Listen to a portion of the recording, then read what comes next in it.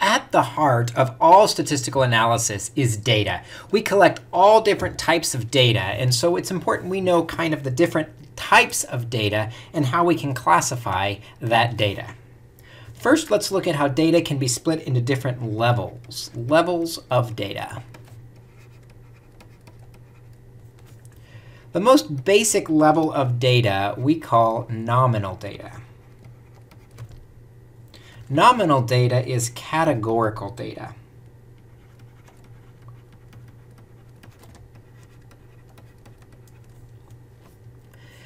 Examples of categorical data would be things like colors, names, maybe it's a yes-no questionnaire, maybe we're asking about gender, where the answer is some type of category. Nominal data we can't do much mathematically with because there's not numbers to work with. When we start working with numbers, that goes to higher levels of data. The next higher level of data is ordinal data. And it's data that is in order, or data that can be ranked from first to last.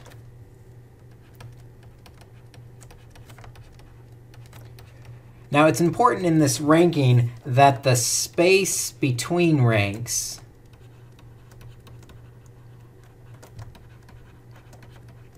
the space between first and second and the space between second and third is not important.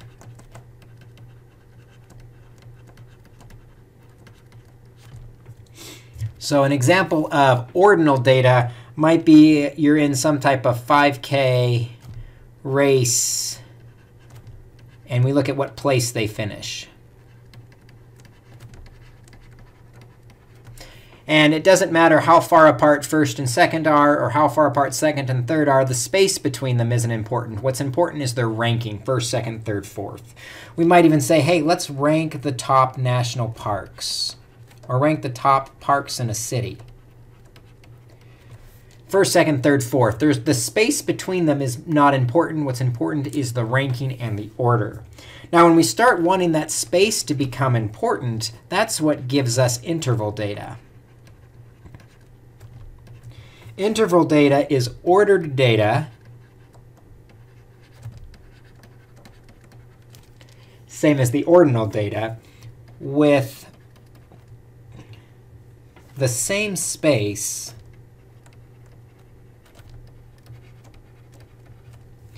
between units.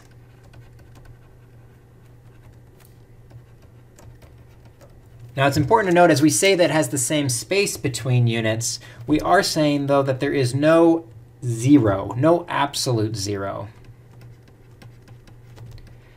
Zero is kind of a relative position. And the classic example of this is temperature.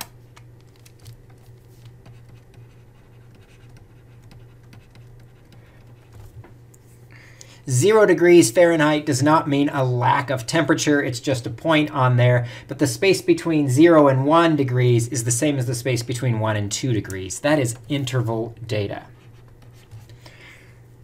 Now, if we do want to have an absolute zero point, where 0 actually means nothing, we call that ratio data. Ratio data is data in intervals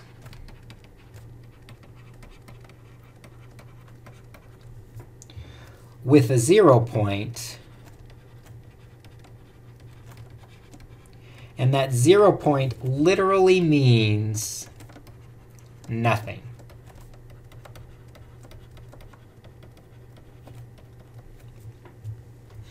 So an example of ratio data might be your score on a test. A zero on a test means you got nothing right. Or maybe the number of miles between two points. 0 would mean there's actually no space between those two points. Those are different levels of data. As we have more complex data, it becomes a higher level of data. One way we can classify data is by these different levels of data. Another way we can classify data, though, is by looking at the different types of data.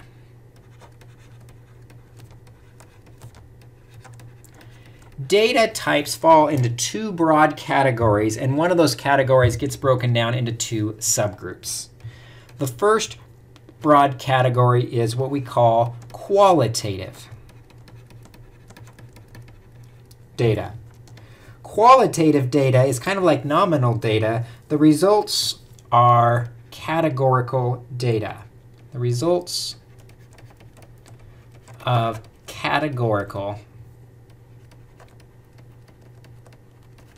data.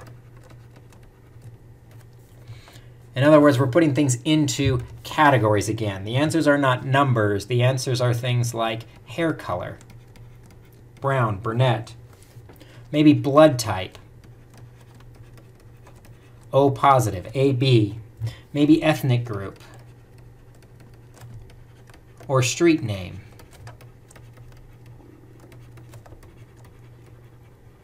This is all qualitative data because it describes the qualities of the person providing data. That is different than what we call quantitative data. Quantitative data is numerical data. And quantitative numerical data, numbers, quantities, is broken up into two different types of quantities. The first type is discrete data, which is counted data. The results come in 1, 2, 3, 4, 5. Quantitative discrete data would be like the amount of money you own in your bank account, or the number of students in a class.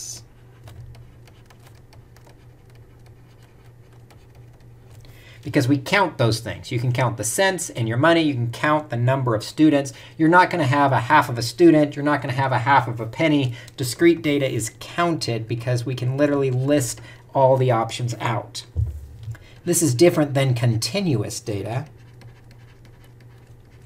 which is measured data.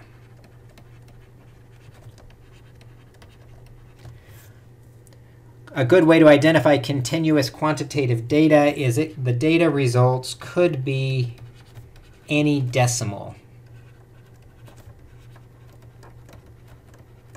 Notice that's different than money, which can only have two decimal digits for the cents. With continuous data, you could have seven, eight, nine decimal digits, more decimal digits. You can have irrational numbers. These would be values such as weight or height or distance. Technically, time is continuous, even though a lot of the times it's treated as discrete, where we hit every single value in between 1 and 2 as we go from 1 to 2. Continuous data.